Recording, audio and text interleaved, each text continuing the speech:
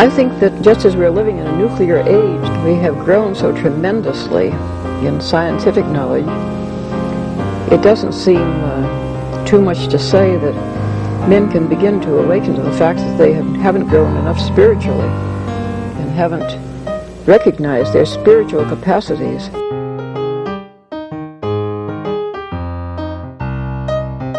Once something like eating is death, then you've struck at the very heart of life. The enemy of the older radical theories may have been the ruling class. But today the stakes of whether we will reform ourselves into a new kind of human being, a new kind of society, whether we will find selves worth being, the stakes of it are simply life itself.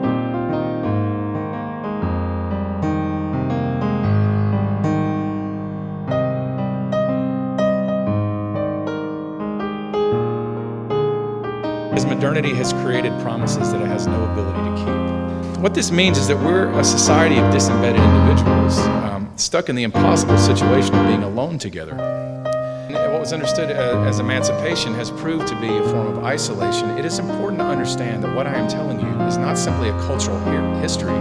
It's a description of the story that shapes every single person that you know. This is why there is a rise in mental illness. It's absolutely concurrent with the disembedding of the individual because individuals can't constitute themselves by the very nature of the case. Subjectivity cannot sustain its own weight. We need others to tell us. But we've been given an ethical mandate by the Enlightenment that tells us that that's immoral, that nobody should constrain us. We're back for episode five of season two of Dustbowl Diatribes. And we have with us a special guest, Suan Sonna, who's a former student of mine and has a really interesting background. Um, and so the first thing I wanted to do is just ask Suan to introduce himself and tell us a little bit about um, your background, how you got to where you are today, where you're doing, uh, uh, among other things, intellectual Catholicism as a YouTube channel. Um, so just tell us a little bit about yourself. Yeah, well, let me begin by thanking uh, Dr. Laurie Johnson and Spencer for having me on the uh, channel. You know, it's funny because what is it? I'm not I'm no longer your student, Dr. Johnson, but I still want to call you Dr. Johnson because Laurie just doesn't feel right to me. So yeah. get that a lot, but yeah. Yeah. So I run a YouTube channel and podcast called Intellectual Catholicism. I was out for a few months discerning with the Dominicans um, in their novitiate, but I eventually discerned out. And so I came back and the channel before was called Intellectual Conservatism and then I moved it to intellectual Catholicism. Um, I studied philosophy at Kansas State University, and I, I finished my uh, applications for grad school, and I'm hoping to study New Testament and early Christianity. Cool. Could, could I ask you why you changed the name of the channel? Yeah. So um, I, when, when I came back from the Dominicans, I think, I mean, it was already like if you were watching um, all the content on the channel before I left for the Dominicans. It was very like Catholic apologetics, philosophy, theology oriented. And I realized that uh, my conservatism originally began as kind of this broad kind of Scrutonian, Roger Scruton, Roger Scruton kind of conservatism. And then as time passed, I started feeling more drawn actually to my Catholic faith and seeing like, oh, Catholicism isn't just like this religion that you put in one corner and then the rest of your life goes on and you know it's like no it's a whole worldview. And eventually i saw that you know catholicism became just everything that i really loved and cared about. And so i wanted to kind of have that channel reflect how deeply rooted catholicism is to the kind of intellectual content that i love and produce. Well it was it was a very like i thought smooth switch um, and it sounds it sounds like exactly what it is. Uh, I really, I think we both um, appreciate your channel. Uh, I think we think you do a lot of, of good work. Um, so, like, what is the main aim, would you say, of intellectual Catholicism? You know, tell people like what what it is that you hope that your listeners are getting from it. Yeah, you know, I view my role as kind of like a curator of just trying to get the best you know catholic intellectual content out there. Um, and so part of the mission is for example you know getting really top notch thinkers to talk about issues in catholic theology and philosophy making them accessible. Because I think sometimes people have this idea that professors and philosophers and theologians and friars they're so distant and far away but my work is trying to let the people have access to this information uh, the other thing i'd say too is uh, it aims to have dialogue with people who aren't in the catholic tradition so it's not just for catholics i mean i've also had muslim guests on before and i'm going to have a, a series with a muslim philosopher named khalil andani we're talking about neoplatonism and the trinity next and then after that we'll be talking about the papacy and Islamic theology. So it's going to be a lot of fun there. Um, and then uh, the last thing I'll say is um, one thing I want my channel to do is kind of avoid the craziness of the online Catholic apologetics world, because sometimes you have people, I don't know if I should name anybody, but people who kind of basically are sedevacantists or critiquing Pope Francis all the time and railing against Vatican II. And I would like my channel to not go off the rails in that direction, but actually retain, let's say, Catholic orthodoxy. Mm-hmm. Real quick, could you define what set of a sedevacantism is? Yeah, so sedevacantism is the belief that the chair of Peter is empty. So literally, you know, said vacant, right? So the chair is mm-hmm. empty. Mm-hmm. Um, and you know it comes in various forms some people will say pius xii was the last pope some people will say there's benevacantism which has now become sedevacantism where people believe that benedict xvi was the last valid successor of peter and then now the chair is empty so you have all these kinds of kind of crazy positions mm-hmm. And do you have a read on how i don't want to go too far down this but i have a suspicion that there are very few actual benevacantists um do you disagree? Like is is this a thing that's really out there beyond like i don't know patrick coffin and maybe taylor marshall or something like that? Yeah i think it's a really small niche phenomenon. You know usually like if you're a sedevacantist you know you, you, people typically pick pius the 12th as the last one maybe mm-hmm. pius the ninth you know it depends what, gotcha yeah i just so now that we're on this topic like what do you think um, compels people down that road? Because I'm I've known people like that. I didn't used to have a name for it, um, but when I even first moved to Kansas, I met people who um, drew me towards Catholicism. I'm a convert, but I could tell right away there were like there were theories rolling around in their heads that weren't really that were sort of tangential to the faith. I wasn't quite sure initially how important that was. Mm-hmm. But as time went by, you know, I realized it, you know, sort of like amounts to kind of conspiracy theory type thinking. And what, yeah, like what is your um, estimation as to what causes people to kind of go down those paths and not remain in orthodoxy, basically? Yeah, I think the well, I mean, it you, you know, you'd have to ask a sedevacantist, and there are all kinds of reasons why they might have that position. But at least from the ones that I know, the reason why they hold to what they believe is because they have a vision based on, let's say, the prior tradition and history of the church of what the papacy is supposed to be, about what the church is supposed to be teaching, about what falls under the magisterium of the pope. So, magisterium means the teaching authority, right? So, there's this idea that well if the pope becomes a formal heretic in some way he has vacated his office right? Or if he teaches something that they deem heretical then it's you know uh, he's no longer the valid successor of peter. And so a lot of them i would say are very intelligent but also respectfully very rigid.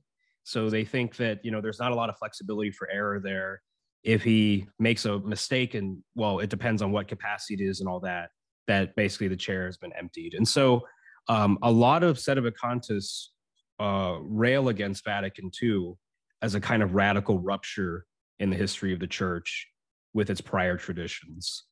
And so that's usually one place where they'll locate kind of when the chair of Peter ended. Mm-hmm. Yeah. In a way, I mean, I sort of think of them as like contemporary Protestants, you know, I mean, because there's this point where they say, you know, my my understanding of Christianity is different from the churches, and therefore mine is is correct and theirs must be wrong. And it, it seems mm. as simple as that to me. So I've sort of seen it that way. I, I mean, as soon as I was exposed to this way of thinking, I thought, am I still dealing with a Catholic in a way? You know, because there needs to be a certain level of trust there that the institution will not be guided off course, you know, too far, and that you can trust it. Um, and I wonder if part of part of what causes this is just like a general distrust in uh, you know a fairly well-founded distrust in authorities generally in our modern world that then gets pasted back on to to the catholic church yeah yeah yeah i mean i would i would see it as a kind of frustration against like a father figure in a way it's like you were supposed to be this and you didn't amount to it, you know? And so it's just kind of like this weird sense of not wanting to leave the family. They don't want to actually leave the church and be something else, like a high church Anglican or something like that. Right. Um, but they also don't want to be under the current Roman pontiff or, you know, pontiff since Pius the 12th or what have you, or Pius the 9th. So it's a really kind of weird limbo position if if i can put it that way at least that's how they perceive it in this kind of like not not in the mainstream catholic but also not outside they don't see themselves outside of the church mm-hmm. They're, they're the faithful remnant still holding on inside of the church yeah right which is basically like a protestant theory as well which was used sure. you know against uh against the church during the reformation mm-hmm.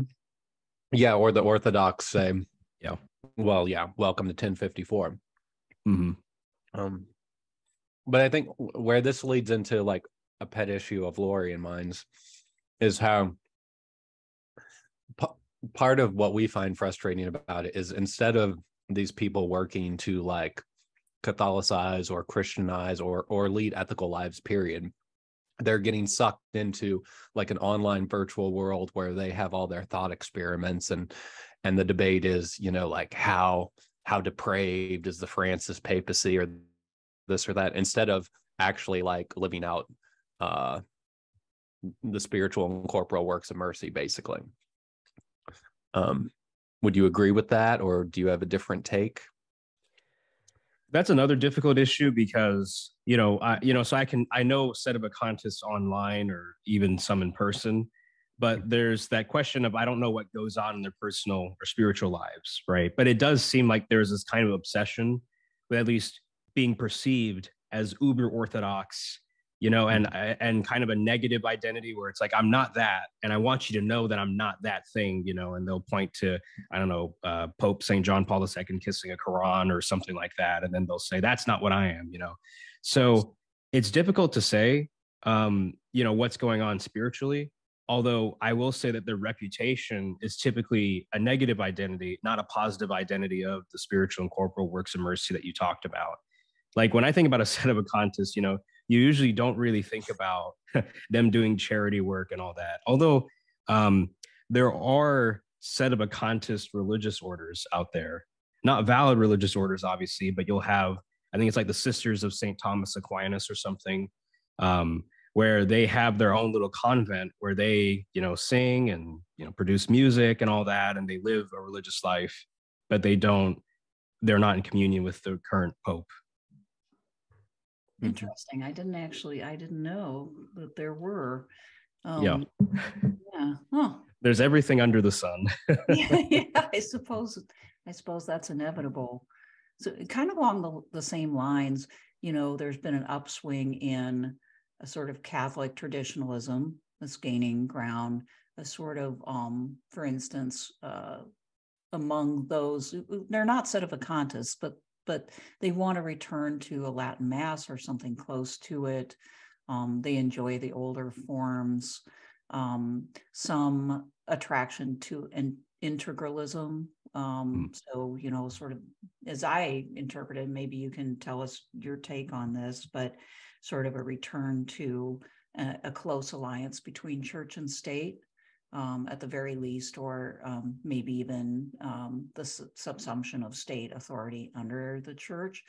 Um, so, I mean, there's again, there's like a spectrum out there, but I have noticed that there's a growing number of people attracted to um, both traditionalism and integralism. And so I think, you know, we both, Spencer and I, kind of look at that and we think, you know, there are some good things about that. You know, people are trying to, they're getting serious about their faith um, and they are trying to discern um, the best path for themselves and for the church. At the same time, um, you know, they, they seem out of step with with the current moment. So we were wondering, you know, what your opinion was of those trends. Yeah. So in terms of traditionalism and integralism, it's important to maybe have a definition, right? So in terms of let's say traditionalism, it's really hard to define because one, it's I think it's a reactionary, it's obviously a reactionary movement. It's reacting to something that they perceive has gone wrong in the church. And it typically falls at the feet of Vatican II. And the idea, I think, is something like um, in Vatican II and the post conciliar church, the church tried too hard to win the approval of the world and to open itself up, right? And then before, what the church was was kind of almost, if you will, what they perceive it as like kind of against the world and saying like the world needs to be called to something higher, something greater, right? And um, there was more talk, you know, people talk about how even language changed uh, pre Vatican II versus post Vatican II. So before the church used like very objective language. So, you know, it didn't try to, let's say, appeal to your reason necessarily. It tried more to just say, this is the law, this is what we believe, this is the church militant, right? Whereas after the church, or excuse me, after um, Vatican II, there was this idea of trying to kind of meet people where they are and communicate with them there. And, you know, I mean, the anathemas of the previous ecumenical councils like Trent and so forth still stand but they are not going to be the focus of how we communicate and try to reason with the world, right? So I think traditionalists they perceive um, a lot of these changes as as maybe something like embarrassment towards our past tradition, embarrassment towards our identity, um, and in the process, then this kind of hollowing out of what it means to be Catholic.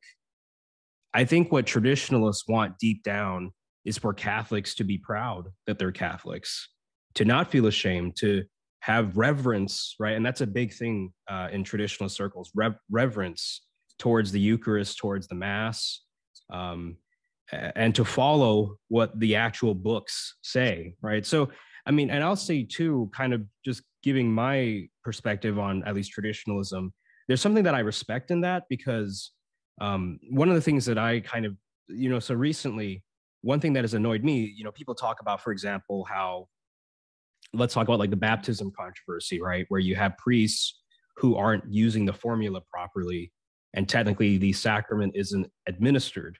Now, it might be by a special grace of God, as the Catechism says, that you know God's not bound by the sacraments, but we are.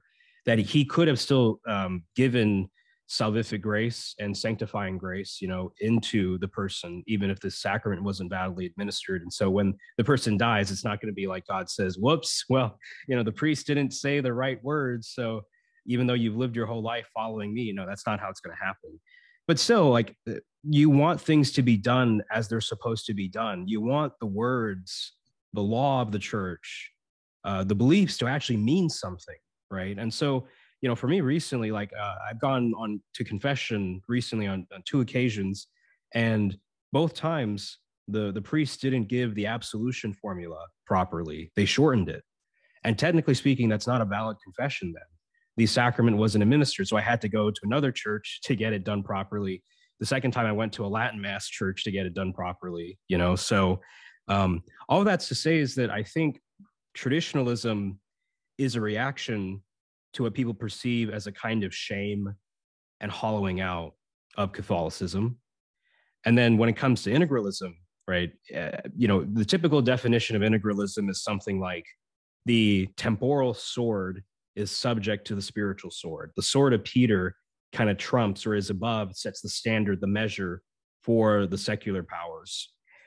And in this regard, um, I think it goes back to a reaction in the political sphere to the failures of liberalism, to the failures that we could have, let's say, a government that's morally neutral and you know kind of and not and and you know meet the interests of both religious and non-religious people.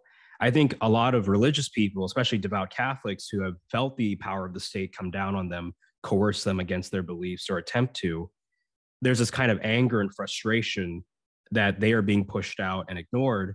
And so their reaction is, well, then wouldn't it be better if the state were under the power of the church?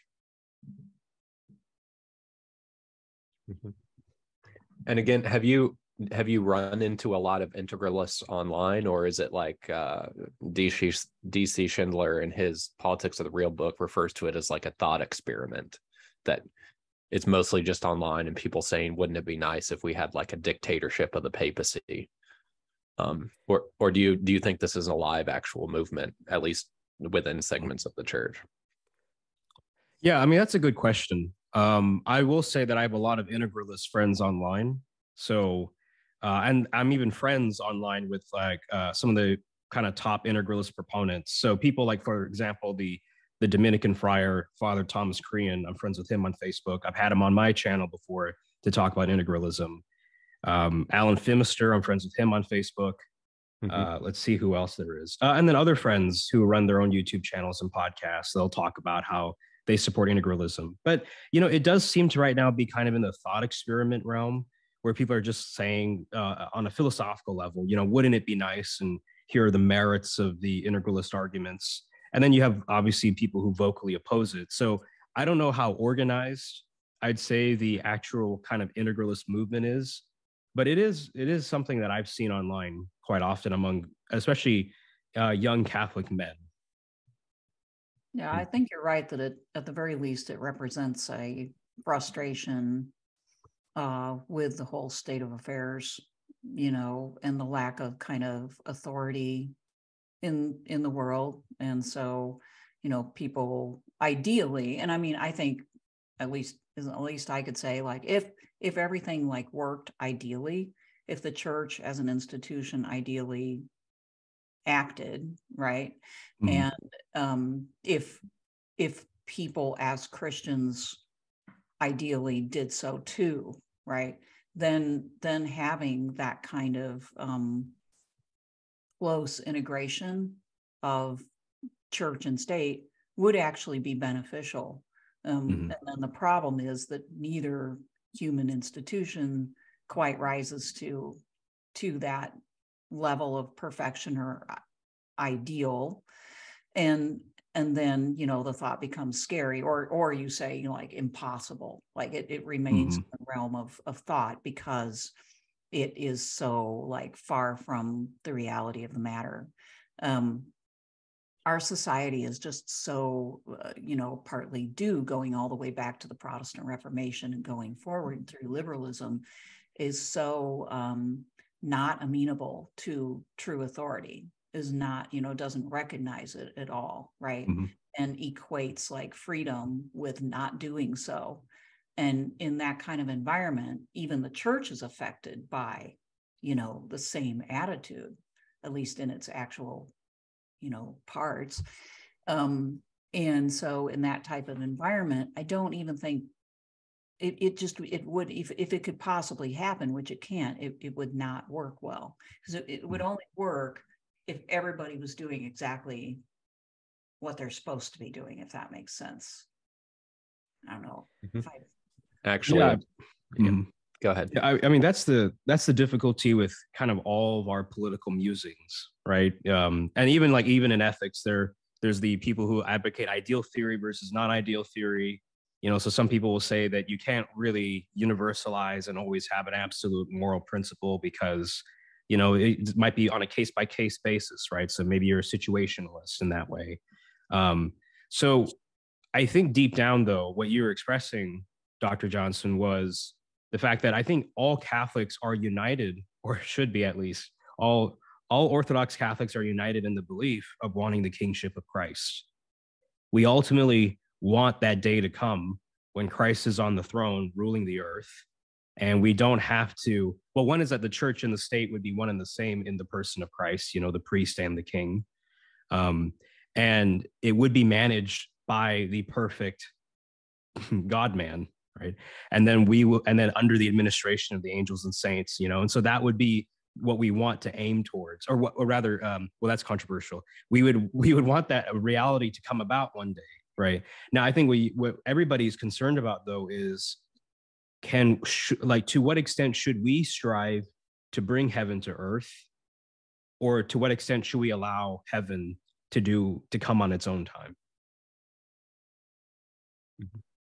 and and where do you stand on that question?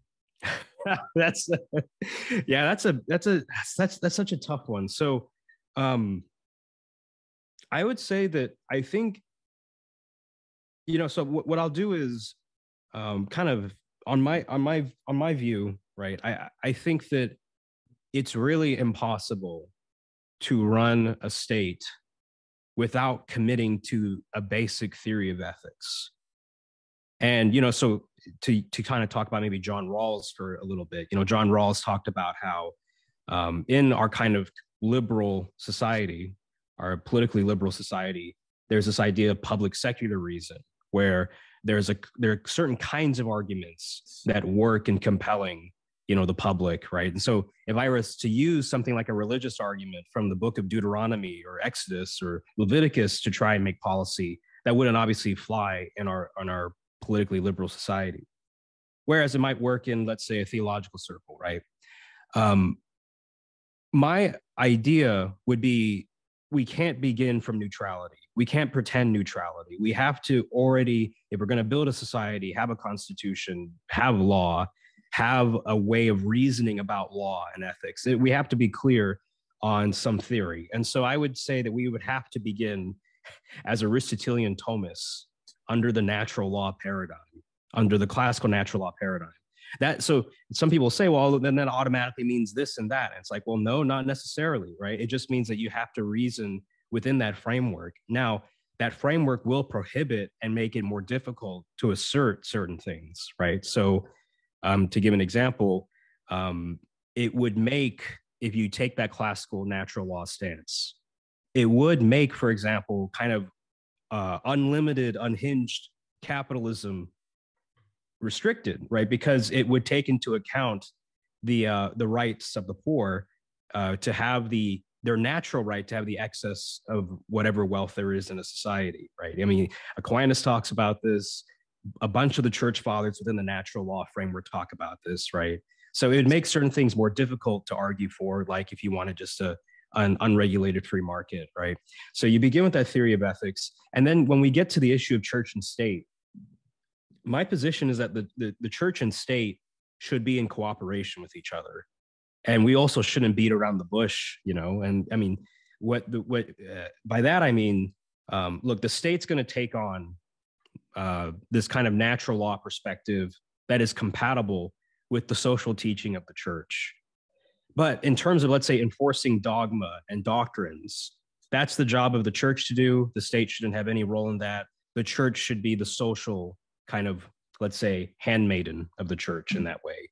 It should be supporting, you know, the policies of the church in terms of, let's say, if the church is going to talk about the poor, is if the church is going to talk about how usury is immoral, then the then the state, in its within its framework, has an obligation, if you will, to not violate that social teaching or principle, right? So, I mean, I do believe in the cooperation of church and state, um, that there shouldn't just be this awkwardness between both institutions. Um, but it has to be based on, you know, we were talking before about kind of the lecture of, was it Andrew Willard Jones and kind of his and kind of his work in this area. And he talked about how, you know, before in like medieval society, there was this idea of the relationship between everybody of counsel and aid. And I think something like that on the level of the church and state would be beneficial if the church and the state, you know, saw themselves as providing counsel and aid to each other and somehow working together towards the good of the whole, right? But now the thing that I don't want to happen is the state to let's say make Catholicism the religion of the land, right? And force because I mean, then you get into the issues of re- what what are the rights of religious minorities in that society, and then typically when integralism has been tried, you know, it I think naturally, intrinsically leads to the you know the suppression of rights of especially the Jewish people, and so I don't want that to happen in our society, right? So there has to be a gentle relationship between the church and state, but a gentle kind of cooperation. And I should just add very quickly that gentle cooperation happens through at least the state endorsing the same basic moral theory as the church, which is natural law theory. And then, so riffing off that, how would, just hypothetically, how do you think that could ever be brought about, barring basically like revival mass conversion? Um, that that would be because this is where I, I, when I when I listen to like Catholic political theorists, uh, they leave that they leave it unsaid. So I don't know. What do you think? Yeah, I you know so that's that's that's such a huge challenge because you know you got to ask where is this going to happen, right? If we're talking about the United States, then you know we have to deal with then the legacy of uh, of kind of the classical. Well, actually, it's I wouldn't even say it's classical natural law of the classical liberal tradition within our society and the ramifications that has, right? So if we were actually going to practically bring about, let's say, this vision of society, mm-hmm. um, we would need some type of mass conversion, right? And we would also need, um, well, I think the first way that you begin the conversion or the revival is if you can show that an Aristotelian Thomistic metaphysics is plausible. And that's what um, a lot of people have been doing. So, for example, the philosopher Rob Koons down in UT Austin, uh, I think Alexander Pruss and other Thomistic philosophers have been looking at quantum theory, saying Aristotle has been vindicated. And then they're trying to lead to this um, revival of Aristotelian Thomism. And I think if you can do that, and eventually what happens is, you know, as there are, you know, let's say Catholics and other Christians and theists in our society who are tired of, let's say, either moral relativism or they're tired of a kind of maybe even robust progressive secular moral theory. Maybe it's a kind of utilitarian framework. Maybe you know it's some other form of consequentialism. As the movement kind of goes towards okay we need to have a response to progressive secular ideology and that response is best maintained within an aristotelian thomist tradition then you could actually within at least with among the academics and then the everyday people have a kind of let's say in their minds a default of like no aristotelian thomism is the correct worldview. Law needs to be understood through this moral framework. Then that could become uh, possible. And robert george who's a professor McCormick professor of jurisprudence at uh, princeton he's tried to argue that a kind of perfectionism uh, within his natural law framework is compatible with the classical liberal tradition in the United States. Now, you know, there are going to be challenges to that thesis in his book, Making Men Moral. That's what he attempts to argue. And if that thesis is successful, then you could potentially have Aristotelian Thomas among academics and everyday people.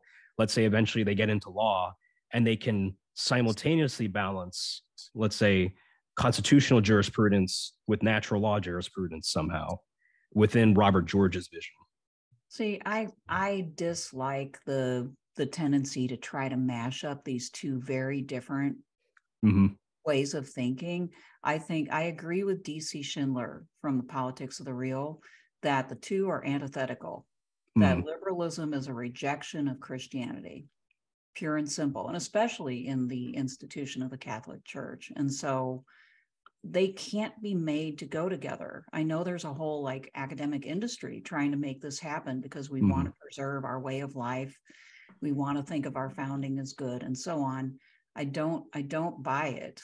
Um, and I, I guess I wanted to back up um, and just because I think your points are well taken about um, the Aristotelian framework, about natural law, just to make sure that our listeners understand what you're talking about when you talk about the Aristotelian uh, Thomistic framework and natural law. Could you say a little bit more about that contribution? Because a lot of people, especially like Protestants for sure, wouldn't know what we're talking about right now. Like, why is that important? What yeah. is it? So, you know, there's a lot that goes into Aristotelian Thomism, right? But the basic idea is that it is the science of human fulfillment. So what it looks at is what fulfills the human person. What are the conditions for uh, fulfillment? What are the goods that we as human beings from our nature naturally pursue and require? And so it begins with a very robust anthropology. Anthropology just means, you know, our study of human nature, how we act, what motivates us, what moves us, how we operate. Um, and uh, and uh, within that, then it says that we can observe the patterns of human nature and behavior and discern its nature and then actually answer the question like what leads to its fulfillment or uh, humans fulfillment and happiness. That's the very simple way of putting it. And then the reason why it's aristotelian is because it's built within that framework of aristotle. Um, and then it's thomist insofar as what thomas had done was expanded upon aristotle's kind of moral theory and and political theory and brought it within a Christian framework. And I'll just say up front too that even for like Protestant listeners, you might one might think that oh well it's Aristotelian Thomist and Thomas was a Catholic, so you can't have Protestants who are Aristotelian Thomists, and that's not true. There are many Protestant philosophers who are also Thomists, um, so it's not necessarily Catholic. But it tends to be associated.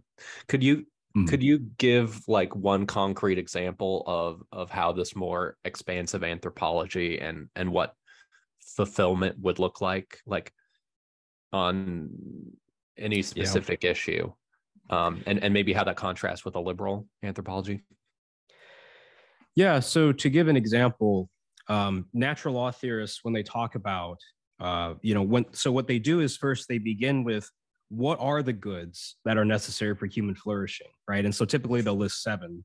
So things like life, knowledge, friendship, um, work, and leisure. Other things on the list are included as well. Uh, religion, aesthetics is one of the uh, is another one of them too. So, for example, um, when you look at the uh, let's say Universal Declaration on Human Rights, one of the things that it talks about is the right to leisure so that people shouldn't be living in a society where they have to work constantly all the time, receive barely any adequate pay. And so that kind of is cyclical, right? Because if you don't receive adequate pay, then you need to keep working to the point where you don't have time for friendship. You don't have time for leisure. And work no longer becomes a fulfilling exercise of your powers and faculties, but instead becomes a burden, right? So the the natural law theorists would actually be willing to justify if it's necessary, state intervention to, let's say, secure a just wage so that leisure and friendship and the other goods of the human person can be pursued. Um, uh, where, whereas under a liberal framework, you know, the idea is that if you think fundamentally human beings are kind of the product of a contract, a rational contract, right? Then the idea is that, well, you sign your name on the dotted line to work this many number of hours so long as your employer needs it to be done. And if somehow, let's say, through the invisible hand of the market, it, it has been determined that the most that can be rationally given to you is five dollars an hour, and you need to work hundred hours a week or something like that, um, something crazy, right? Then that needs to happen because it's just simply part of the rational contract. Uh, what a natural law theorist is going to say is, you know, human beings are obviously rational. We have contractual obligations but the fundamental kind of let's say thing that we're all pursuing is the good. And so if the contract for example would limit your capacity to pursue the good or be detrimental to the human good to the common good even then it needs to be modified. Mm-hmm. yeah we have to actually think about what will be conducive to our happiness and well-being. Mm prior to making our other decisions. This seems to be the most impossible thing for people to do. You know, I think liberalism is is like such a powerful system because it avoids that question. It yeah. avoids the mm-hmm. question of what is what is the good life? You know, how ought we to live? And this is where the Aristotelian Thomistic way of thinking does, you know, it's a corrective.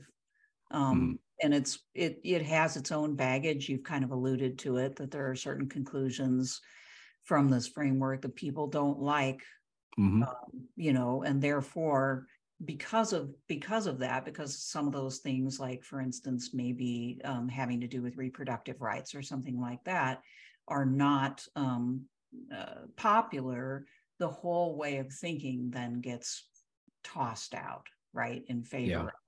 Yeah in favor of the other. But that is a um, a loss right? Because the, the the problem with liberalism it's it's empty. It has no it has no ability. There is no ability to like give people guidance or define what the good life is. Mm-hmm. um, so we're missing that you know and, and i don't know how how we ever um, you know given given all the landmines that i've just alluded to like mm-hmm. how we get people to be open again um, to that way of thinking but I, I think that you described it very well um, mm and I didn't realize that there were also Protestant um, yeah Aristotelian Thomists out there. The, the most famous one is uh, Norman Geisler. Um, he was an Aristotelian Thomist. Um, I, I, there there might be some others, but I know that he's like the most famous one. Although he's passed away uh, not too long, or I think uh, uh, he's passed. He's he's gone. Mm. Okay. Mm-hmm. Well, so I mean that kind of I don't know. Well, Spencer, did you have a question that you wanted to ask um, yeah, let me just ask one question just to like tie this discussion up with a bow. Yeah. Um, let me try and rephrase what what I took you to be saying to make sure uh, we understood you and see if you have any further thoughts. Mm-hmm. Um, to realize maybe it would be fair to say you're like a semi-integralist that you believe there should be this this back and forth um, between church and state, the two swords. Um, but you don't want to get it you don't want to get to get too totalitarian. We don't want to be repressing the Jews, um, etc. Um, and let's say if America gets there in hundred years or something, it would be because there is uh, on the part of intellectuals like a, a widespread conversion to Aristotomism, and then there's a to to use some Marxist terms, there'd be like a primitive accumulation of cadre. You'd get all of these philosopher activists, and they'd have a long march through the institutions, and they'd they'd change or modify America's juridical framework. Uh, they they'd manage to do this like neo neoconservative fusion of of Aristotomism with America's liberal framework, and then on that basis, maybe we could have your semi-integralist state. Um, yeah, you know, one thing I want to say up front too is, um, you know, when I was talking about traditionalism and integralism, um, one thing I wanted to acknowledge was that I think there there's some truth in what these uh, frameworks are saying or these movements are saying.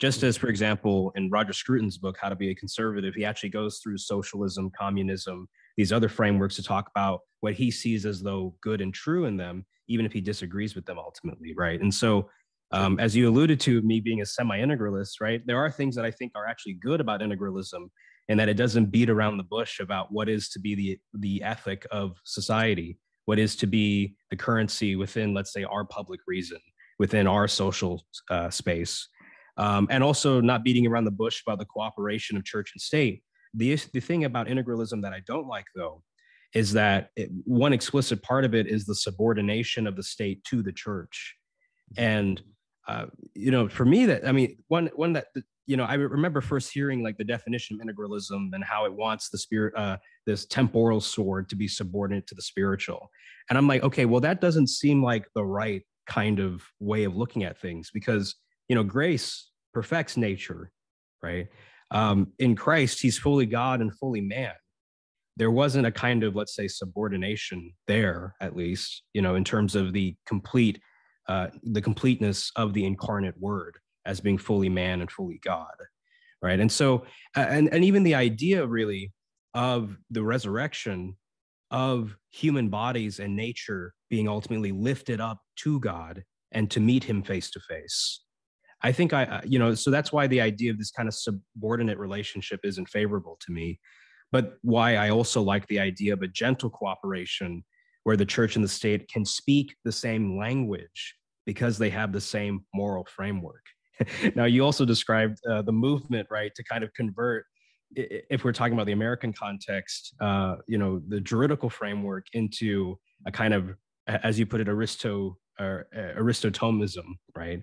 Um, I mean, that's the best shot that I think we have. But I think Dr. Johnson is onto something when she says that you know these these frameworks are kind of antithetical to each other, right? I think what would have to happen is um, we would have to the, the hybrid that would be created if insofar as the hybrid can be created we would have to also be acknowledging that it is also a critique of the founding as well the final product that we have. I mean and i mean and we, we also can't pretend that our current well that's a, that's another topic but we already in so many ways we've departed from the founding and the vision that was there in, all kinds of places right? So america is kind of constantly recreating its own identity and then only after the fact thinks about its continuity with the founding. So that's just something those are just some of my comments there. Mm-hmm.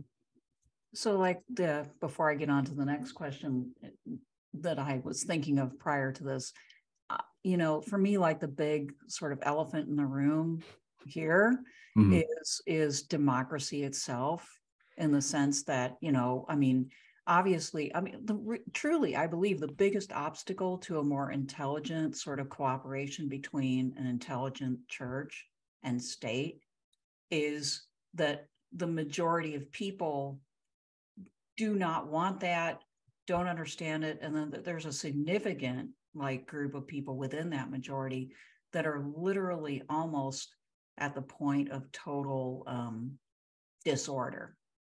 You know as in as in not understanding what democratic participation means um, thinking about the use of force becoming um, simply uh, disruptive, uh, not being able to, you know, um, act in a concerted, uh, coordinated way, lashing out.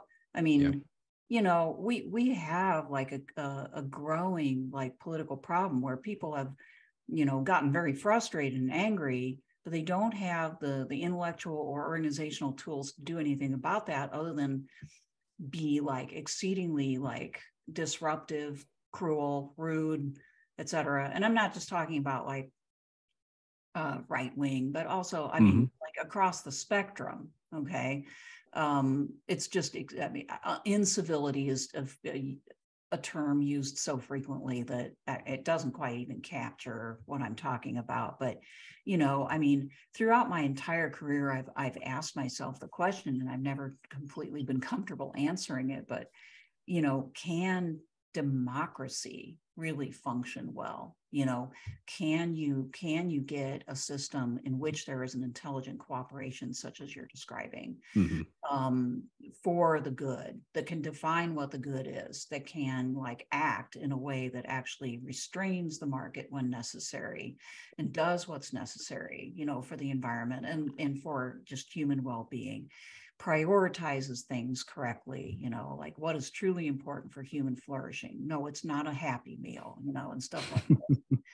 and, you know, like is I'm just going to ask like what your view of democracy is. Like do you do you kind of see its problematic nature in the same way or do you find some hope in it still or or what?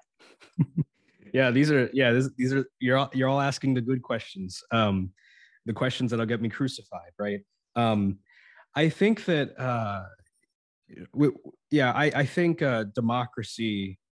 I mean, you know, I think let's just say what everybody knows, which is that democracy is flawed, um, and, and critically so. I mean, so for example, as you pointed out, do people, well, the reason why democracy is so popular is because it has the best claim to legitimacy insofar as people feel like they're involved, they're included, they get their voice in, they have some type of actually institutionally built in power, right? So that's why democracies are really popular.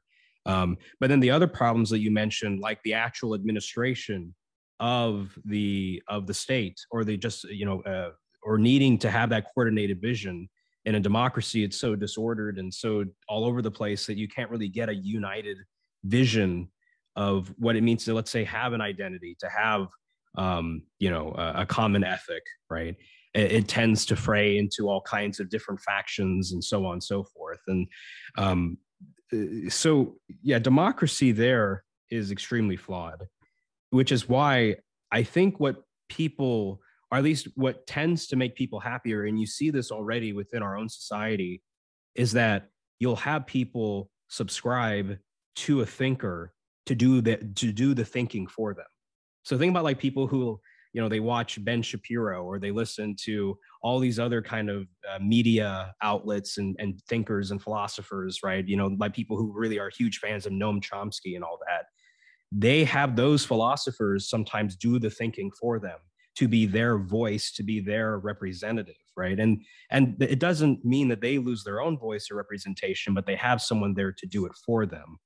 And so already then we get from this getting away from direct democracy into indirect democracy but then people want their thinkers to be really good and they want someone who can really manage and give their time and expertise to deal with economic and social problems that they don't have the time to study themselves so then you get into technocracy right? Uh, ruled by the experts. And so, actually, the form of government that I'm most comfortable with is something like a technocracy where you have the experts running the show. Although that gets really complicated too, because there are flaws in that system as well. But bottom line is, um, when people say that democracy is the best compromise, I'm like, well, it depends on what you think the good trade off is, right? So, for example, some people think legitimacy is so important that the everyday person feels heard, right? That you can trade off everything else just for that good. Whereas I'm like, wait, no, no, no. The other things that we're trading off, like just a stable government or a common ethic, th- those are also really important. Um, and so, you know, uh, that, that's what I'll say there. Uh, I, I do agree with you, though, that democracy is very flawed. Now, that doesn't mean, though, that we we don't have room for people to express themselves but just um, I guess the vision of democracy that everybody can be their own kind of self-governing authority and power, this kind of atomistic understanding, right, of the person. That's where I think things get wrong. But you, the ideally, you would want a government that has some way of including other people and the common person's voice somehow, some way. Or put another way, to better integrate people's genuine voices and their actual interests. right. Their, mm-hmm. Yep. Which to me seems like, if anything, like integralism were ever realized, it would be, it wouldn't just be this interplay between church and state. It would be like also between like the state and and the family and and the people and like all the all the intermediaries between the state and and the family or the individual that there would be this whole dance between nature and grace at every level. Mm-hmm, that mm-hmm. seems to me to be what they're calling for in, in, in the best instance. Yeah, I mean, I totally agree. Mm-hmm. Hmm. So, um, what did you think about the? Oh, I'm blinking on his Andrew Willard Jones uh, lecture that Laurie sent over to you. Yeah, I mean, honestly, there there's just so many things about that lecture that were beautiful like how he moved from I, I, I don't want to get too far ahead of myself, but you know, the the analogy that he wove or had woven with uh, the four senses of Scripture, the literal, and then the allegorical, the tropological, and the anagogical. Right. So I should probably break down those terms. Right. The the literal or historical sense is just simply what was historically intended by the letters that you see in the text of scripture, right? So, for example, when the law of Moses says that, you know, pork is prohibited, it literally meant, you know, don't eat anything from a pig, right? And then you have the allegorical interpretation, which tries to see how the things fit within the story of salvation history. So it kind of looks at the text, grabs the thing itself, kind of abstracting out, and then connects them together. So to give an example, um, the Davidic kingship, when you look at it closely, uh, it reflects the kingship of Christ that is to come, right? So you see that typological kind of relationship between the things themselves. The anagog- anagogical deals with the moral kind of lesson that you get from the text. And then the uh, tropological deals with the kind of uh, mystical eschatological interpretation. So I won't get into that. But the basic point that that uh, Willard Jones made in his presentation that um, let's see here that um, in the medieval vision you had the Davidic kingship and so the little historical sense, and then the kingship of Christ together in one. And this how all that was connected into the vision of the world, where the, literally the Trinity, the metaphysics of the Trinity, and the peace between the persons of the of uh, you know the Holy Trinity, how that was the framework for understanding peace and order in society, or how even heresy uh, was not just conceived of as violating a religious doctrine, but actually a form of violence, right? That all of that was incredible. Now, let me get down to kind of um, the the more meaty stuff, though. So, aside from my praises for the presentation, it was really the end of his lecture that um, troubled me in a good way, right? So he talked about how the medievals would see our politics with its emphasis on sovereignty and power and just kind of rights at the forefront rather than rights as kind of let's say the organic outgrowth of this counsel and aid relationship. You know you, you bring in rights when you when you need to when things are violated. And then once you have uh, reparations and you're all back together as friends and family again you don't talks of right or talk of rights kind of goes out the window you know because there's this kind of silent implied understanding right um, so the way that he described our politics as a politics of despair, that hits it right on the head. And then when he talks about how if we have this politics of despair where we can't even have heaven on earth, even imperfectly, or we don't even strive to have heaven on earth, then what happens in society is heaven is dispensed with and is kicked into another realm. And that's, I mean, that's something to think about because um, at least in conservative political thought, or even in, in classical liberal thought, the, the two are somewhat connected given the history of Western civilization. Um, conservatism and classical liberalism, one of the fundamental doctrines that they have is what's known as the tragic vision. And so the tragic vision is this idea, kind of best articulated by the economist Thomas Sowell, that humans are intrinsically limited and you when you push human beings beyond their actual limits rather than working within those limits when you try to perfect human nature and you treat it as something that is malleable by the state by other you know institutions then you get into a state of affairs that is ultimately worse off for human beings.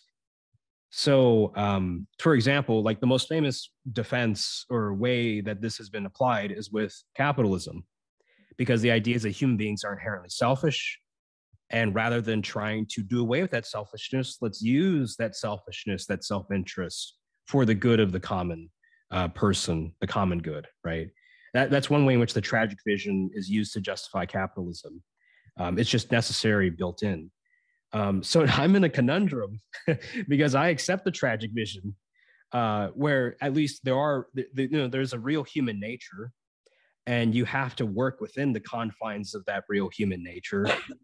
And um, you know sin now bringing in my religious worldview which is part of my political worldview um, sin even if it's not intrinsic to human beings right? Because it is a parasite. In the garden of eden we were created good and the fundamental identity of the human person is that being which is created in the image of god. So we were created good. But sin is a reliable parasite even if we even so even for the person who is under the dominion of original sin but even for the person who has been baptized has received sanctifying grace we are still having to deal with that parasite that first corrupted our human parents. And so you know to kind of cut the long story short he left some really troubling questions for me to confront which is does my does my own worldview lead to kind of dispensing with heaven in the political realm. Mm, as in, um, have, is there a tendency to more or less say uh, salvation and like complete unity with God's will can only happen in the next life, and therefore we we can't really like even come close to that sort of like the city of man and the city of God. This is the yeah. city of man. Um, and so um, what I hear you saying is that the talk kind mm-hmm. of like made you question the extent to which that division uh, not not that the division doesn't exist because i think we all probably agree it does right but but including Willard Jones. yeah mm-hmm. right right but that there's perhaps or ought to be more hope for more of the kingdom of god in this world yeah i mean basically so um right when i talked about like dispensing with heaven what i mean is this idea that we eventually turn heaven into this totally different realm, mm-hmm. this kind of far off idea, this really nice reality that has no bearing on this world today. Right. right.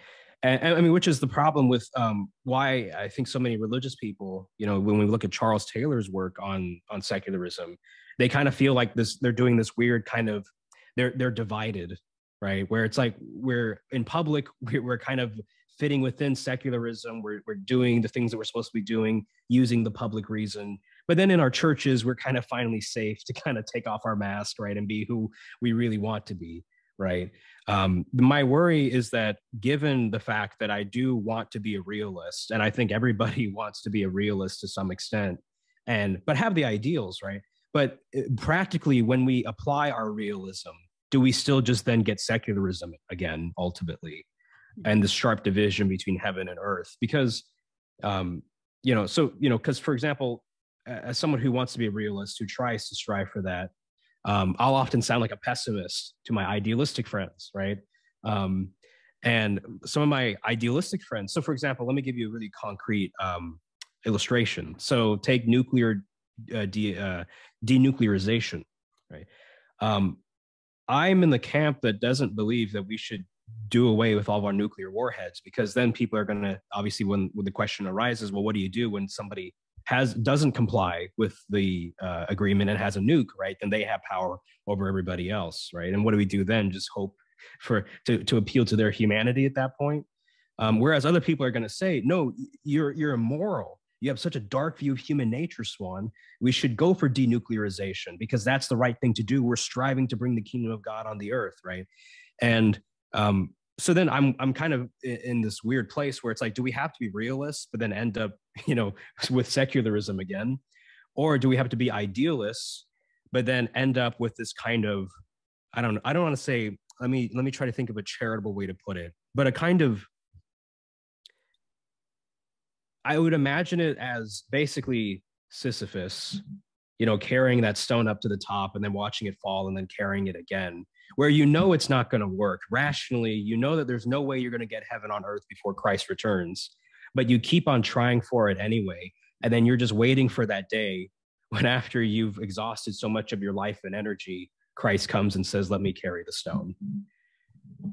So yeah. it's a kind of absurdity on both ends perhaps appreciating that you tried you know like right um, yeah I, I, totally get um totally agree with the concern that if we try to bring heaven to earth um, through our political systems that we are likely to get a worse situation, right? Uh, some form of totalitarianism. I think that's been made abundantly cl- clear by history. Um, but but I think that we do tend to think of one or the other. It's all this or it's it's all that. And if Christ is king, he's not just king in this other mythical realm, but everywhere and at all times. And if that's so, then um, maybe it's not so much a question of um, do you strive to bring heaven to earth, but do you strive to um, obey, you know, his commands? Do you strive to um, do do what he wants? Because he obviously wanted people in this life to um, behave in a certain way, and and I think if we all did that, we would have a substantially better like situation than we currently have, even though it would still be very imperfect, you know, because we would, con- human beings are imperfect, but it would be so much better. And uh, I, I struggle with, yeah, like with the, with the, uh, the binary there, that it's the, that it's either this or that, because I don't think that it, that we have to think of it that way. Right and that and doing so keeps us gives us an excuse not to um, basically be obedient you know, both to Christ and to and to the church, um, as it asks us to actually do things in the world. Um, so, I mean, is there does does that offer any comfort right? Like that you can be you can be a certain type of realist. I mean i totally understand your struggle. I haven't actually thought about that question maybe as much as i should. I i just of course who doesn't hate nuclear weapons? I probably if i thought about it would agree with you that in in a practical sense it's pretty darn it might be even seen as downright irresponsible to, to completely denuclearize in the world mm-hmm. that we currently live in without careful you know careful, prolonged like strategy and negotiations and so on. Um, so, you know, I, I feel like I have a lot of realist in me, but I don't see it competing with the um, the basic striving to uh, actually be obedient, to actually like try to live the life that Jesus kind of modeled and also spoke about.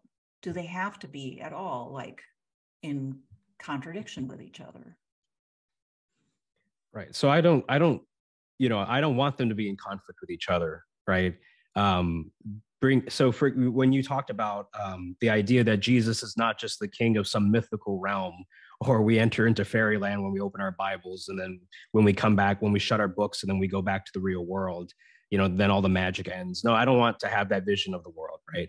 And what you described uh, is basically what integralists would call their, their, their, doctrine of the social kingship of christ uh, where it's this idea that uh, as in matthew chapter 28 jesus receives all authority on heaven and on earth. So jesus really is the king of the earth and our goal is to then bring all governments into conformity with the vision of Christ so that he really is the king. Um, you know, that's our part that we play. Uh, the other thing too is, um, you know, talking about uh, the church, you know, the, the church, uh, when, when we try to, when we talk about like trying to bring heaven down to earth, I think oftentimes, I mean, there are all kinds of theological problems with that kind of language.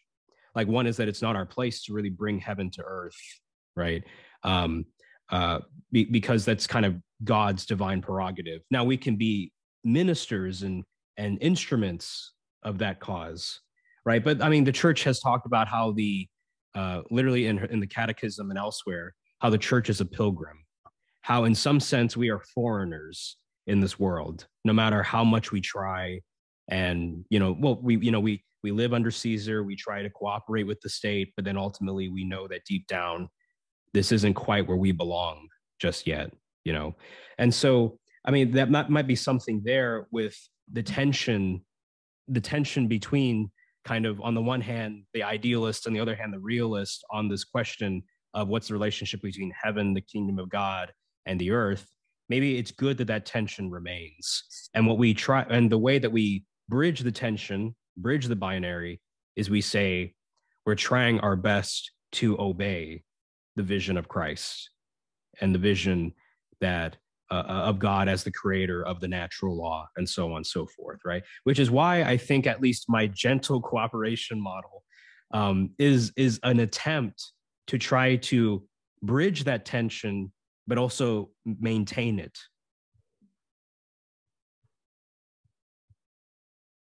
Yeah, and so one of the things that's been really striking to me as I've converted to Catholicism the last year is how utterly not even well maybe ignorant but like catholic social teaching in terms of the catholics i've encountered isn't even on the table. Their, their catholicism has so bit, thoroughly been liquidated just into american conservatism that it just means being pro-life. Um and i i was just it seems to me that part of what the social teaching is trying to get us to do is thread the needle between yes we can't make everything perfect. We can't just bring heaven down to earth but we can also do some things. So mm. last last night i've been going through pius the 11th's uh quadragesimo anno or something like that. And and the subtitle is on the reconstruction of the social order. Um and what's frustrating to me is like why why isn't that on the table for so many catholics? Um or am i wrong? Is it on the table? Yeah well you know particularly in the american conservative context right we have to think about i think i think for some catholics there's the desire to belong within the nation as well and so, if we start talking about Catholic social doctrine that sounds communist and socialist, mm-hmm. then we make ourselves aliens again. And we work so hard and so long in the history of America to fit in, right? That we don't want to lose our seat at the table anymore and be delegitimated. You know, we, we, we've come a long way from the days of uh, John F. Kennedy, where the US was suspicious of having a Catholic president to now we're under another Catholic president again. And then even this Catholic president is trying to balance uh, the values of the Democratic Party and his uh, belief that he is a devout Catholic, right? Um, even what was it? Um, uh, uh Tim Kaine under Hillary Clinton, um, when he was, whenever he was asked about uh, his positions on abortion, you could visibly see how uncomfortable he became because he was I think deep down he is pro life and he wants to be pro life, but he also is committed to the Democratic Party. And so he has to have that internal conflict. So I think, regardless of if you're left or right, there's this kind of internal conflict and dance between wanting to fit in and wanting to be Catholic. And what often happens is um, people will decide to try and do both somehow, but then ultimately it comes at the price of one or the other. So, I mean, isn't that, I'm going to just be blunt here, isn't that idolatry?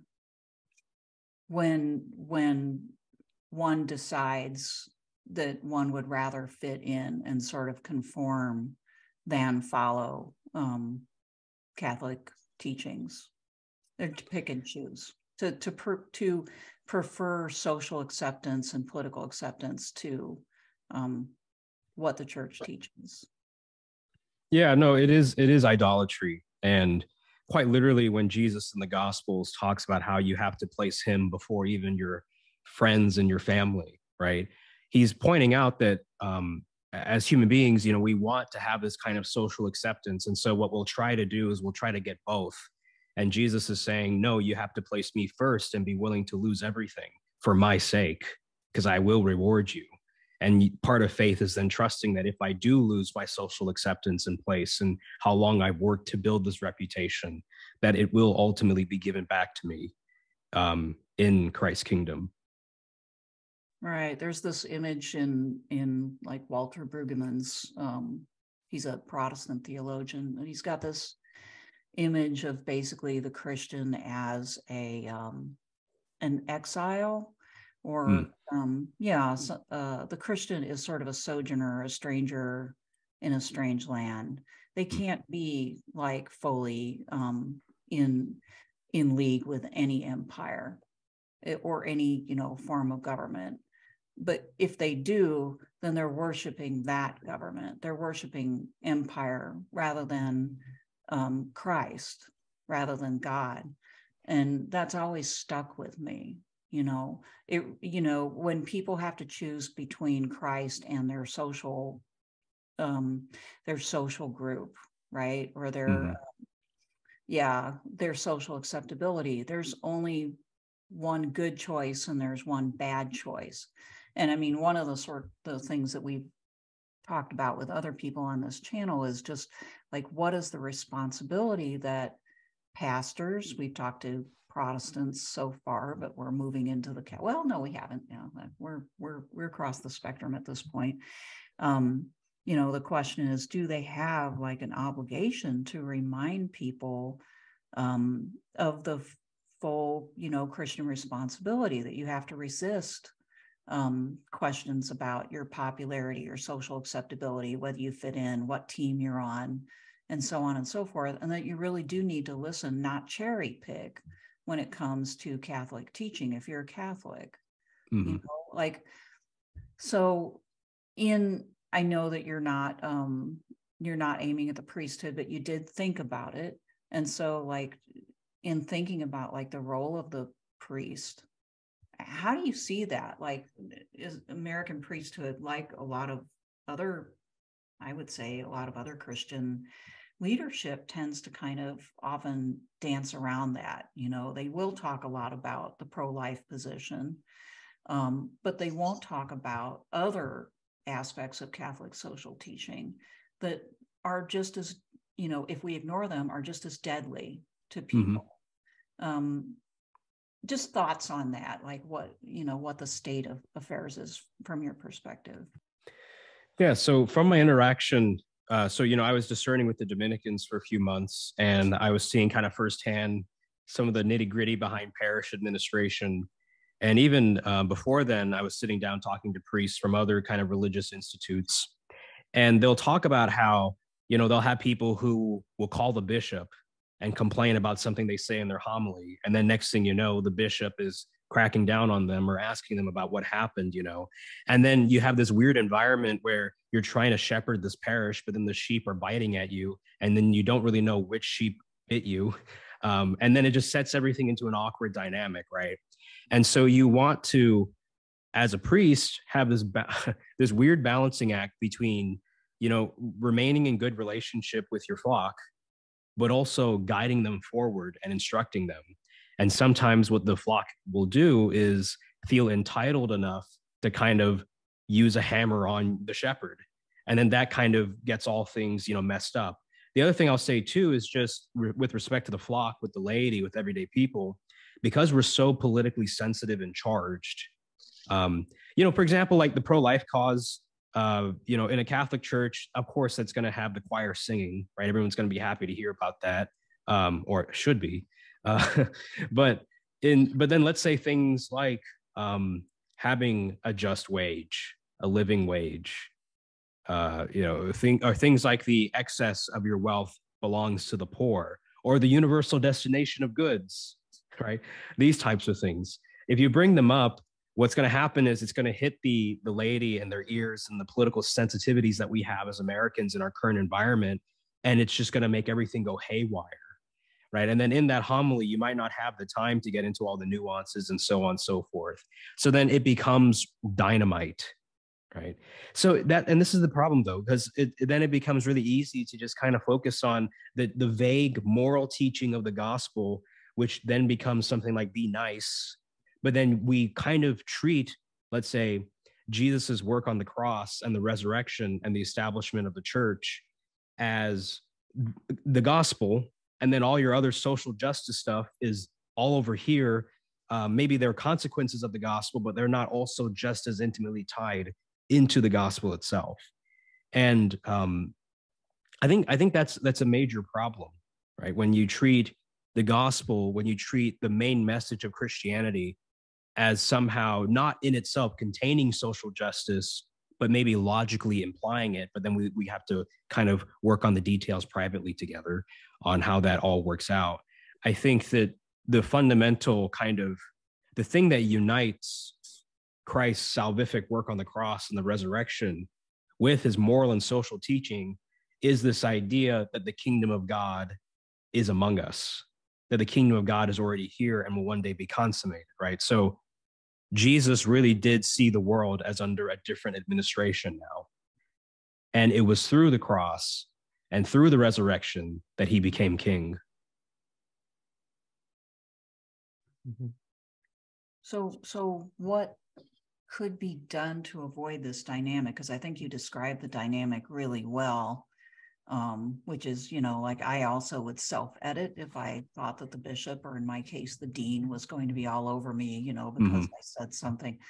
Um, it's it's only human. Um, you would you would like to think that the bishop would not be like taking his first cues from the parishioners, but rather from like actually knowing what was going on in the you know what was being taught and I, yeah i mean that's that's that's another thing i guess like when i when i converted to the catholic church i i assumed it would be superior in the sense that what was said at the top would yeah filter its way down and that this is what you would get from top to bottom because it does kind of come across as a hierarchical institution right mm-hmm. and there's some benefits to that right but that doesn't seem to be the way it functions in this country right so you get that kind of phenomenon where one person one person can upend the priest by you know calling the bishop who doesn't necessarily know what the priest is saying but he should you know in this kind mm-hmm. of thing um so you know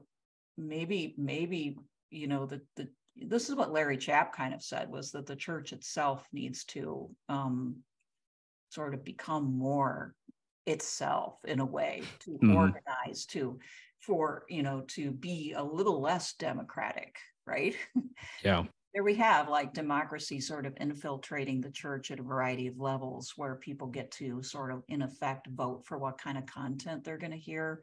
And then that leads to priests and and pastors and other churches do the same um, just sort of talking in really vague general terms to avoid um, facing anybody's wrath but then they've abdicated their role as actual moral leadership pure and simple. Nobody mm-hmm. knows what they said. They go away. They don't have any idea. They, if you ask them right after they walked out of church, what did you just hear? They wouldn't be able to tell you, and it's not mm-hmm. entirely their fault. Um, so like, I don't know what my question is, except for like thoughts on the on the American church. You know, like how it's organized, how it operates.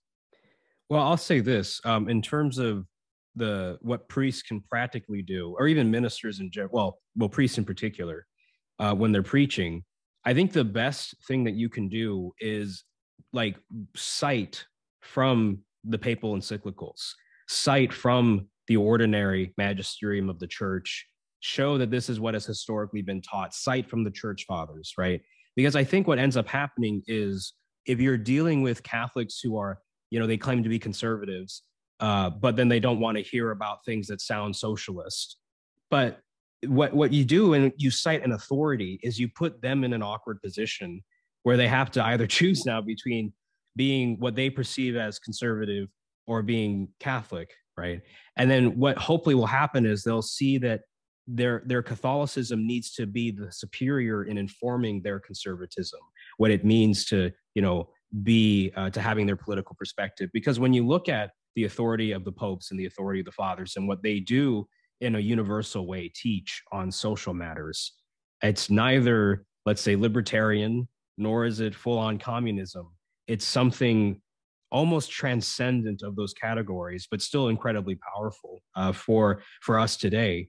Um, so I think that if if there was a willingness to kind of teach these things and cite from the authority of the church and put the two together and actually kind of illustrate the, the the middle way that the church presents i think people will be really attracted to that idea that there is a middle way that they don't have to go on either extreme and that the church provides that with authority. The other thing i want to mention when you were talking about the dynamics between the parishioner and the priest um, is i think we've lost this idea to some extent of the fatherhood the, the, the good masculine traits of the priest, the bishop, and the pope. And what needs to happen, I think, is we need to see. And I mean, so one word that I don't think anybody is going to associate with the Francis papacy is masculine, right? Because generally speaking, I love Pope Francis to death, right? He is the Holy Father. I accept his authority as a successor of Peter, right? But I mean, th- there are times where you have to kind of see that Pope Francis has not dealt so well with certain um, issues. For example, I think his relationship with the Latin Mass community is incredibly strained. I don't think a lot of people really perceive Francis as someone who's preserving the tradition. And the default in secular cultures view him as a kind of liberal pope. But then when in reality, you see that Pope Francis actually says things that are very conservative, right? Or when Pope Francis tries to use his kind of, let's say, um, his moral credit to kind of give a middle way uh, position uh, you know, and I, I could go, I could give examples, but I don't know if I want to do it here just yet. Um, whenever Pope Francis tries to give that middle way, nobody listens because we've already dubbed him a liberal pope, right? And so I think somehow the pope needs to, in a very kind of direct way, in a very fatherly way, you know, show that okay, look, no, we have to accept the authority of the church. We have to accept the authority of the ecumenical councils, including Vatican II. We also have to accept the validity of the traditions of the church, including the Latin Mass. we need to have this pope who is going to be very masculine with this middle way. And then what ends up happening, hopefully, is that the bishops will reflect that kind of masculine fatherly strength in giving the people a middle way, but with the authority of the church. Because I think, you know, the things that you believe uh, in terms of social and moral doctrine, they have the authority of the church behind them. And that's something that if a conservative is properly oriented, is going to listen and perk their ears up to because they want to obey the tradition and the authority of the church. Well, guess what? The social and moral doctrines that you think are socialist are part of it. So I think that hopefully that top-down example would effectively, you know, um, deal with some of the problems that we have. The the idea of a good masculine fatherhood is missing from the priesthood. I think I basically agree with you. I think I would say a lack of of true leadership, right? Yeah. It's like just actually possessing the authority that they have. Um, so yeah, I I think that's you know that's why I was attracted to the church to begin with, and it's been kind of disappointing when when you don't see it. I think people crave that, right? They want to have some leadership. They want it also to be reasonable, not just like because I said so. That's not masculine yeah. authority either, right? Mm-hmm. Um, and that that's often what people kind of default to if they don't know why, you know, because they haven't bothered bothered to figure it out for themselves too.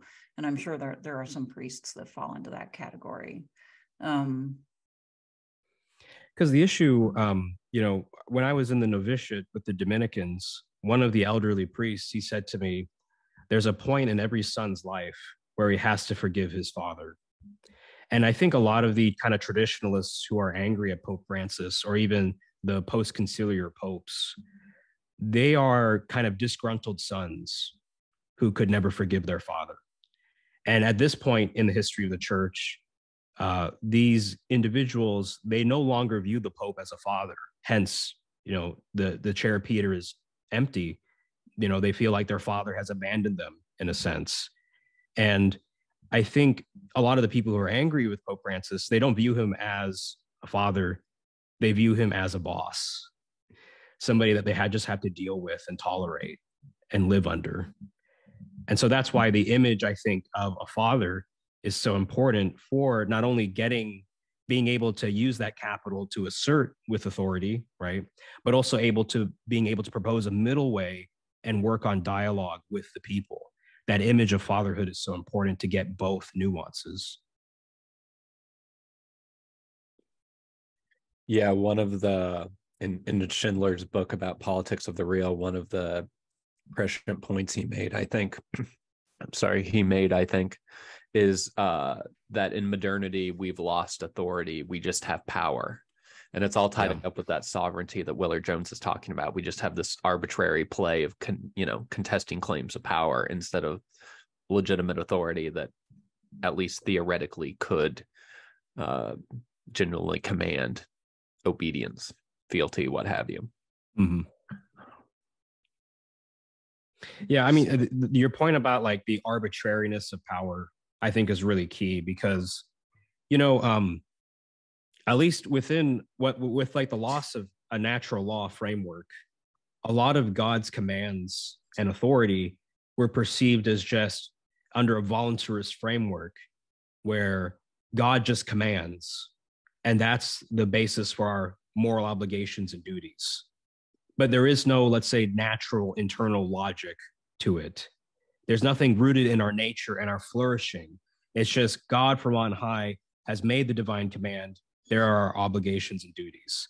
And so then at that point, then, you know, that filtered into government and then made power just seem arbitrary because it's not rooted in any deeper sense of the good. And, and there can be no genuine integration. It's just contesting wills that are opposed yeah. to each other.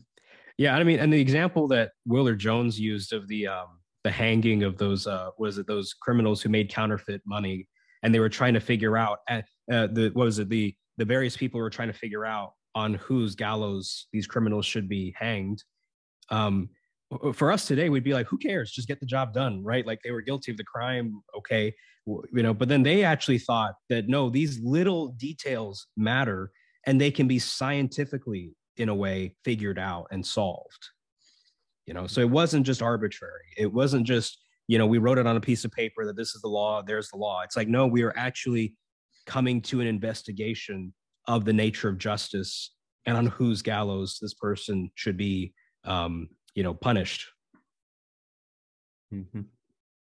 Well, and I think uh, that framework between just the, the two opposed, uh, unintegratable uh, wills or parties, that, that leads into like one of our pet issues on this is is talking about the environment mm-hmm. and and we wanted to get your thoughts on like what Catholicism and um, your take has to say about the environment. Um, and and it seems to me that part of why it's so hard to talk about the environment is we basically see it in the same terms that there's the environment and then there's us and our ability to uh, convert its bounty into uh, plastic and comforts.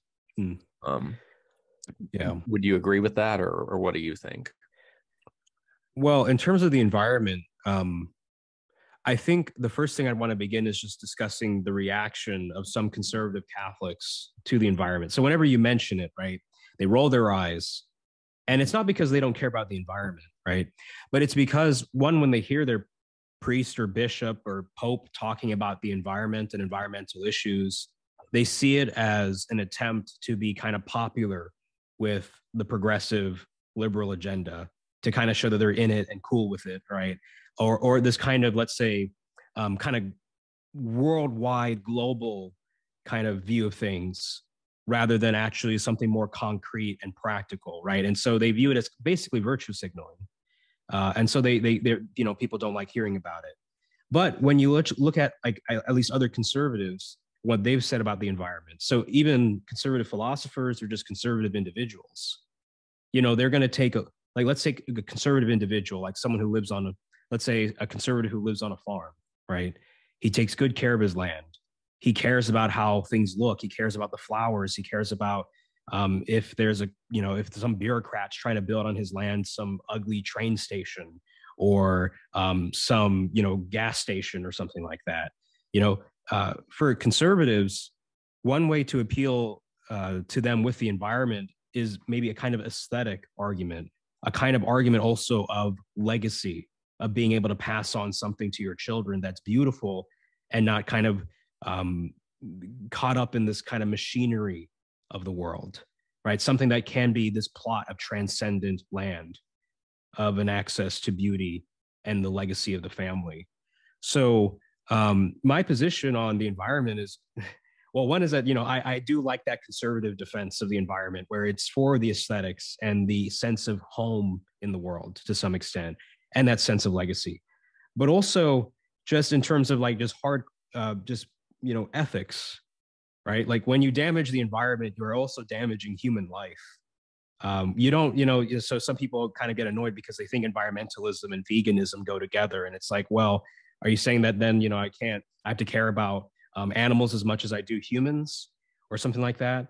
And I think the the proper response is, well, one, I mean, I, I think that when you look at how the environment and even animals and the, li- the, the life and flourishing of animals ultimately affects human life as well. Even if you have this anthropocentric view, you should be concerned about the environment because it all is connected and gets us back to, um, you know, our our our shared existence on this planet. So um, the last thing I wanted to talk about was you mentioned how some people see themselves as disconnected from the environment. And I think in large part it's because we politicized the environment so much. And people nowadays, you know, they hate politics or they're annoyed with it. They don't want it to become their religion. That when you bring up the environment to them in a political context, they don't want to hear it. But when you put them on a plot of beautiful land. And then you watch them care for it. You watch them care about the animals that live on it. You watch them walk through the fields with their children and look at the animals and care about let's say if their child sees a horse and loves that horse then they want to take care of that horse you know? Um, i think that the reason why we feel disconnected from the environment is because we politicized it to death rather than ha- actually have gone out and experienced it and felt any deeper connection with it to our own humanity.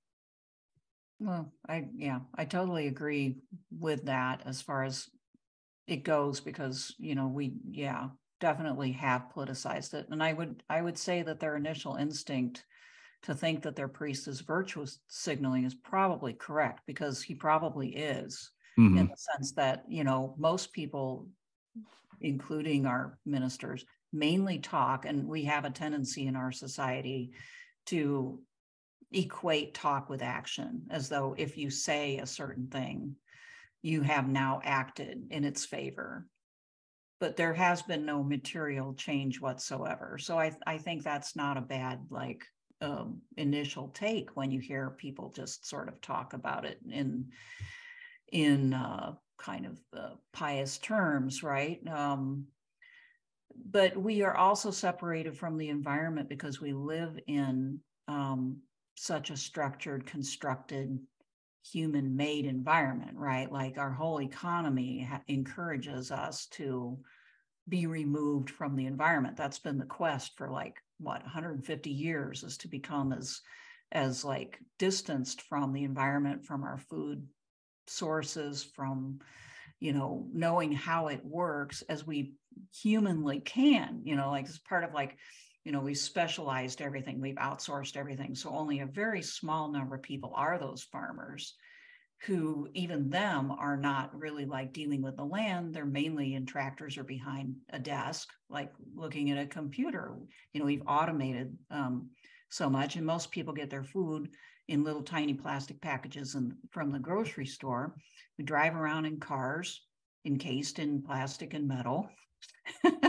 we air condition, we heat, we do this, we do that. So the human ideal has become you know separation from nature and our economy thrives on that so you know to to sort of fight that impulse is is made that much harder by the fact that our very like economic existence most of our jobs are wrapped up in that distancing and mm. ignorance of of the environment.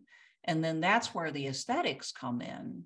And from my perspective is when you've lost like the visceral understanding that the environment can kill you but also feeds you and so on and so forth then you know your best hope of connecting with it is to is to connect with the beauty of it which is also true too or the sublime. We have a class going to happen um, later on in the summer on the idea of the sublime that can kind of remind you of the grandeur of nature and the power of it and then that reminds people of god um, I mean, it's part of the reason why people have a, such a hard time connecting with God, too, is because God is very evident in nature, but we've done everything we can to enclose ourselves in a plastic bubble, right, to to avoid it.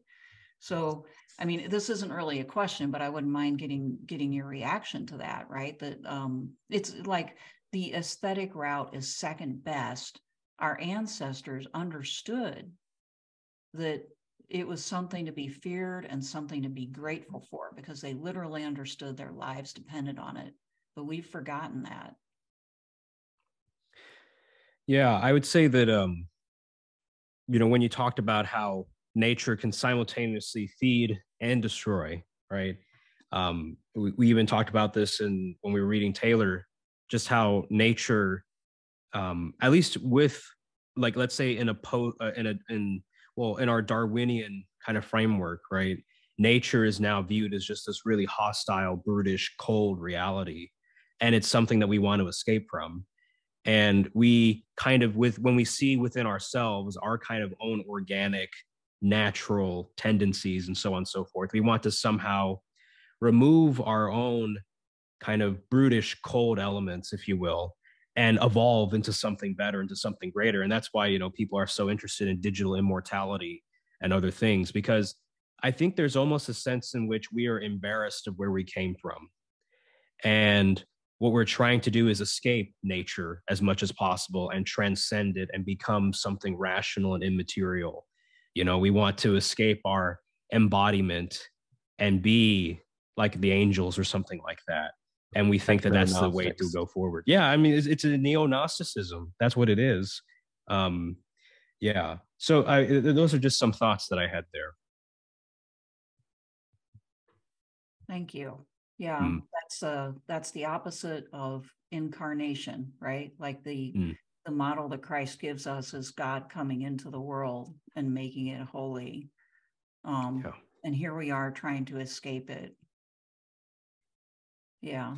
Yeah. I mean, we just view material things as things to be used and kind of just dismissed and dominated, right? Whereas with God, you know, his glory fills the earth. His glory brings ordinary things into the extraordinary, and the extraordinary becomes part of everyday life. Um, whereas with a lot of way the ways in which technology is used and the kind of framework that comes with it, it's the desire to kind of escape the primitiveness of nature and evolve to something greater. Mm-hmm. Right, and I guess what what keeps me up at night i mean here's just a little story that during part of my rcia program uh, the bishop came and spoke to us and somebody gave him a layup about i don't even, i don't remember what the question was but he went on this this deal about how like when he was a kid there was an ambient cultural christianity and now even you know now we're free to decide our own gender you know? So from, from the sexual revolution to you know transgenderism now. And i'm and everybody's nodding along and like I, you know i'm trying to be a faithful catholic i agree but i look over and we have plastic water bottles and mm. like hostess donuts or something like that and i'm like we literally have trans foods you know it's not real food it is subnatural food and we all take that for granted mm. and and it, it never occurs to us that like maybe to some extent so many kids are trans now because we've absorbed microplastics and hormones in our food and uh, emf from all of our devices. And it, it's more of that split between our culture and our ideas about things. Catholics they want to talk about that but they don't want to talk about the ways in we're complicit with industrial oil and degrading the environment and how maybe actually it's connected to what we think we're fighting. Mm. um, how would you i don't part of me saying that i feel like i'm being overly hysterical but i'm pretty sure i'm not the crazy one in that room. But uh, what do you think? And feel free to tell me i'm crazy. Well uh, you know um, i think it's the first time that i've heard someone really make that connection. And so I don't want to dismiss it as crazy because I don't know enough to say anything really informed about it or even enough to really dismiss it, right? But when you talk about, uh, you know, Catholics being complicit with the things that maybe, you know, we preach uh, against, uh, you know, something over here, but then we don't see how another thing that we're doing is connected to that. I mean, that's that's the whole conflict, right? I mean, that's what we're talking about before between, you know, American uh, Catholics, regardless of if they're liberal or conservative, trying to fit in into the American political system, and then they don't see how they're in conflict or how they're compromising their Catholic faith to get acceptance, right?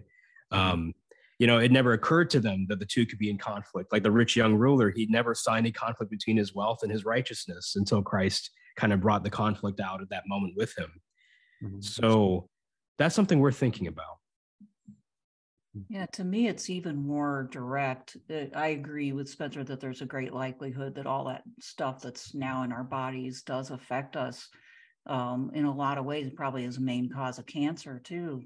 Um, but just the fact that we live in such an artificial environment and that we actually look at a host, you know, like a plastic encased, whatever the heck it is, you know, hostess thing that's there, you know, that is a completely unnatural thing that human beings, even probably what, like, oh, you know, maybe 100 years ago, let's be safe, would would not even recognize as a food source, right? It would be absolutely bizarre. So, of course, living in that kind of environment where you can get anything you want and it usually isn't even recognizable as what it purports to be um, makes one feel as though everything is fluid right everything everything everything is a matter of construct you you know so so they are totally totally related you hmm. know. One totally feeds into the other and they both are products of of the general liberal uh, framework way of thinking you know that has led to this to where we can't even recognize our own what we put into our bodies. So why would we think the rest of our lives would be recognizable you know? Like the natural framework that you talked about earlier it relies on people understanding what nature is. Mm-hmm. you know not just human nature but nature period right? Having a connection with it. And we've totally lost that. So i think that there's something really you know for for all of us to think about. Like you can't you can't totally un- untether yourself from nature in one area of your life and expect it to adhere in another. Uh, yeah i don't know. We need to we need to talk more about that. We only have so mm. much time but like that might be something to talk to talk about more in a different conversation you know? Um yeah just really quick though. I think it's an interesting um, thing to think about where you know let's say a child is raised in an environment where they see nature more often than machines and you know uh, artifacts basically in the philosophical sense um, th- i feel like that child would have a greater awareness of what is given what is objective what is kind of almost beyond human control and construct whereas the child who's just raised where everything is constructed where the nature there isn't much of the given only of what is constructed and manipulable, that would also have an impact, surely, on that child's view of the world. And so maybe that's the connection, or that's something worth considering and thinking about. Mm-hmm. Yeah, absolutely. Mm-hmm. Yeah, and and I don't want to go too far down this rabbit hole, but I think that is one of the more salient trad critiques of of the Novus Ordo, is that mm. a, part of what they're getting at with the reverence is that a lot a lot of and i don't know i'm not an expert in this but i've heard them say that part of it is you know by just handing handing the host to whoever wants to come up.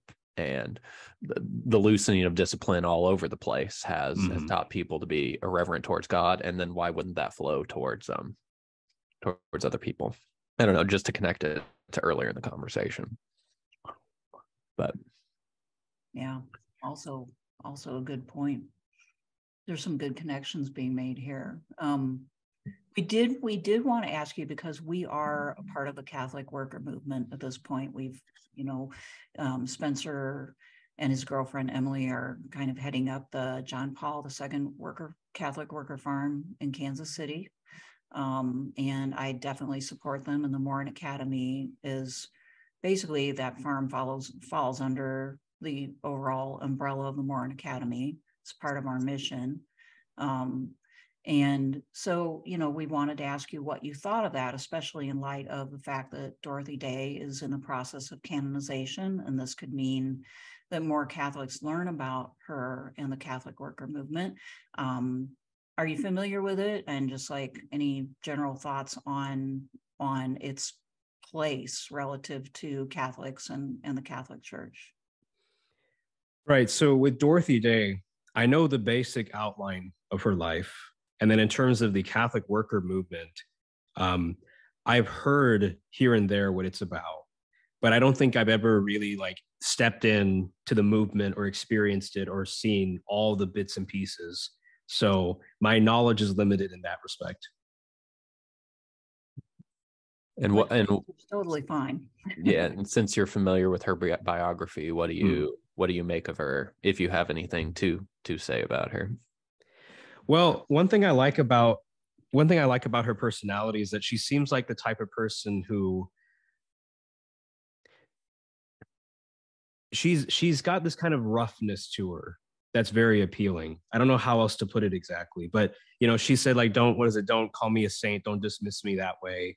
She was very open about her flaws, her limitations, about the pains in her life, about the sins that she had committed. Um, but she sought something higher than herself. She sought to really make, let's say, human life better for others.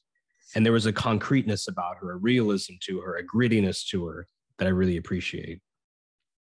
Mm-hmm. Yeah, and I, that's what's drawn us to her and and mm-hmm. Peter Maurin, kind of the idea guy behind it, is that they are examples of Catholics trying to integrate all of their lives. Um, yeah, Peter Maurin was kind of on fire for Catholic social teaching. Mm. He's, he's, a French peasant who came, I think he went first to Canada, but then the United States. He was a laborer for a while, but he was he was brilliant, you know. So he found his way to basically um, trying to trying to teach the American working class about Catholic social teaching at a time when, um, you know, the the fear of the church was that um, the the social the I guess socialists would get there first, you know, like the um, the the sort of atheist socialist movement would mm. get there first. And so, I mean, part of Catholic social teaching is trying to address real needs um, from the perspective of the church rather than waiting for some other like organization to come in and guide the working class. So uh, Maurin was just on fire for it. And, you know, the, he he came, met Dorothy Day, they formed a team and and they started the whole idea of um, you know Catholic worker house, houses of hospitality, of um, roundtable discussions where people of all kinds could learn and debate about Catholic social thought, um, as well as agronomic universities where people could learn how to actually um, grow their own food and take care of themselves and each other, um, and also learn from each other at the same time. So, so we've taken that general framework and um, thought about you know how how you implement that in the 20 21st century setting you know um, but totally agree with you that both both day and Maurin were like very real you know people that grittiness that you that you notice comes from just having lived a really like interesting but also very flawed mm. you know life but in conversion in the case of Day, just, you know, then devoting her entire life to this cause and particularly to the cause of the poor and the poor working class. Um, so this is, you know, and and all across the world there are these houses of hospitality now and a growing number of um, farms as well. So that's that's our inspiration. I don't know. You're the guy on the farm, Spencer. You should. I I don't have. I don't. I can't say it better than you did. uh oh, we're in trouble. um. So anyway, like we we we hope that we can represent it well over time, and we hope that you'll kind of keep track of us and what we're doing as as we keep track of you and what you're doing too because we do appreciate mm-hmm. what you do. Yeah, I mean, I, will say this. Um, one of the things that I've noticed in my life is, you know, I'm I'm kind of, you know, I'm moving and doing a lot of things, a lot of academic things and all that. Um, one thing I really do care about is the pro-life movement, and I try to, you know, with the channel, the money that I make to give to a pro-life charity. But in, in terms of the social and moral teaching of the church, I'm sure that once I'm kind of, let's say, more settled down, right, and not just kind of always in the flux as a student and trying to go to grad school and then get a PhD and all that. Um, that'll provide me time to really kind of also want to put myself, let's say, into a life of advocacy, right? Um, because I think, you know, what you're talking about um, in terms of having communities and having these conversations and living together and living for the poor and making the social and moral doctrine of the church actually part of your daily life. That sounds very appealing. It sounds like something I want to do. And um, it's something that I think would help, you know, uh, resolve this kind of division that you sometimes feel as a religious person living in a secular world. Because then your life and the moral teaching and social teaching of the church, they're just one and the same at that certain point in the worker movement. So that sounds like something I'd like to look into in the future.